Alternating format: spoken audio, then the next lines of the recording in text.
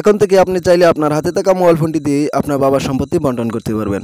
বাবার সম্পত্তি বন্টন করার ক্ষেত্রে আপনাকে সরকারি ছোট্ট একটি অ্যাপ ডাউনলোড করে নিতে হবে।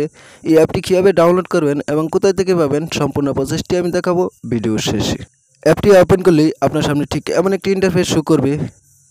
এখানে আমি সিলেক্ট করে দিলাম একজন স্ত্রী, তার নিচে দেখতে পাবেন পুত্র। আমি এখানে পুত্র সিলেক্ট করে দিলাম দুইজন। তার নিচে দেখতে পাবেন মৃতপুত্র। মৃতপুত্রের ক্ষেত্রে আপনার একটা জিনিস লক্ষ্য রাখতে হবে, মৃতপুত্র যদি বিবাহ করে থাকে এবং তার সন্তান হয়ে থাকে, সেক্ষেত্রে মৃতপুত্র সিলেক্ট করে দিতে হবে।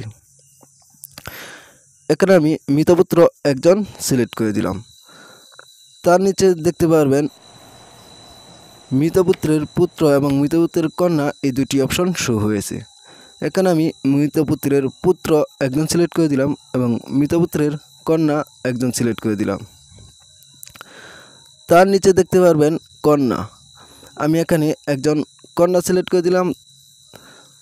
তার নিচে দেখতে পারবেন মৃতকন্যা মৃতকন্যার ক্ষেত্রে যদি মৃতকন্যা বিবাহ করে থাকে এবং তার সন্তান হয়ে থাকে, সেক্ষেত্রে মৃতকন্যা সিলেক্ট করে দিতে হবে। এখানে আমি একজন মৃতকন্যা সিলেক্ট করে দিলাম। তার নিচে দেখতে পারবেন মৃতকন্যার পুত্র এবং মৃতকন্যার কন্যা। এই দুটি অপশান শো হয়েছে।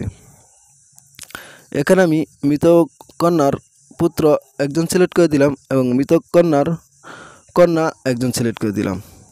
তার নিচে দেখতে পারবেন পিতা, মাতা, দাদা, দাদি, নানা, নানি, সহদর ভাই, সহদর বোন, সৎ ভাই, সৎ বোন। পিতামাতা যদি জীবিত থাকে, সেক্ষেত্রে আপনার পিতামাতা সিলেক্ট করে দিতে হবে। আর যদি জীবিত না থাকে, সেক্ষেত্রে আপনার পিতামাতা সিলেক্ট করার কোনো প্রয়োজন নেই। এখানে আমি সহদর ভাই একজন সিলেক্ট করে দিলাম এবং সহদর বোন একজন সিলেক্ট করে দিলাম। সৎ ভাই একজন এবং সৎ বোন একজন। নিচে দেখতে পারবেন সম্পদের বিবরণ। জমি। এখানে আপনার জমি শতাংশ লিখতে হবে। এখানে আমি ধরে নিলাম, আপনার বাবার জমি আছে সত্তর শতাংশ। তার নিচে দেখতে পারবেন মুদ্রা বা টাকা।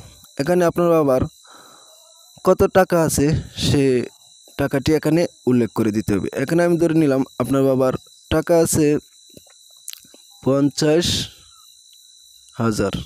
তার নিচে দেখতে পারবেন, স্বর্ণ বুড়ি। আপনার বাবার স্বর্ণ আছে দুই বুড়ি।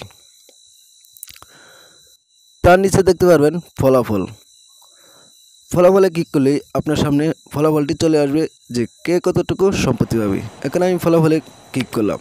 ক্লিক করার পর দেখেন এখানে কে কতটুকু সম্পত্তি হবে? সম্পূর্ণটি চলে আসছে। এখানে দেখেন, স্ত্রী কতটুকু পেয়েছে পুত্র পুত্র দুজন সমান পেয়েছে এবং কন্যা, সহদর ভাই, সহদর বোন, তারা কোনো সম্পত্তি পাচ্ছে না। সৎ বোন, সৎ ভাই, তারাও পাচ্ছে না। মৃতপুত্রের পুত্র এবং মৃতপুত্রের কন্যাও এখান থেকে সম্পত্তি পাচ্ছে। মৃতকন্যার কন্যা এবং মৃতকন্যার পুত্র এখান থেকে সম্পত্তি পাচ্ছে। আপনি চাইলে আপনার হাতে থাকা মোবাইল ফোনটি দিয়ে আপনিও আপনার বাবার সম্পত্তি বর্ণন করতে পারবেন। আমার ভিডিওটি দেখে যদি আপনার বিন্দু পরিমাণ উপকার হয়ে থাকে, আমার চ্যানেলটিকে সাবস্ক্রাইব করে পাশে থাকবেন। ধন্যবাদ।